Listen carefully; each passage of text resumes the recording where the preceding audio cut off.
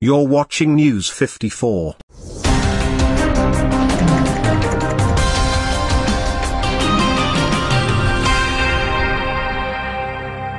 Deputy President William Ruto's Kenya Kwanza Alliance visit to Kiambu might be termed successful by the looks in photos shared of large number of people who attended the rally. However, a spoiler video of how the later and the Kiambu County gubernatorial aspirant and the current Senator Kimani Wamatangi got heckled has been released by Pauline Njoroge popular political analyst and writer.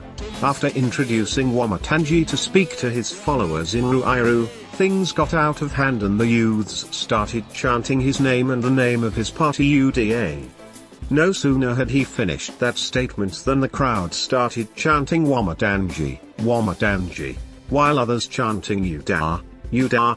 This is not the first time Wamatangi is coming across such a rowdy youths in his rallies rather it has been a common thing which is happening every time that Kenya Kwanza Alliance is in Kiambu to sell their manifestos.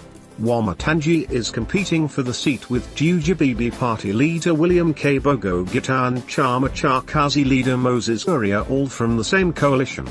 tumsikize Kimani Wamatangi.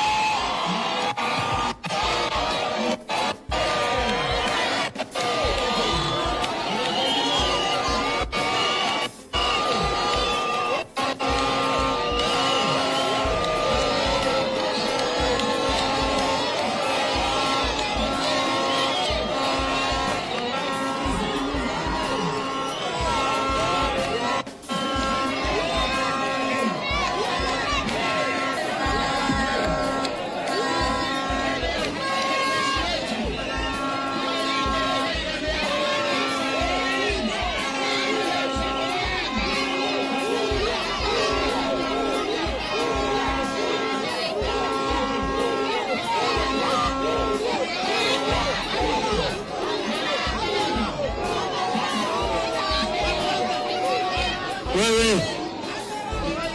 Wewe. Pole pole.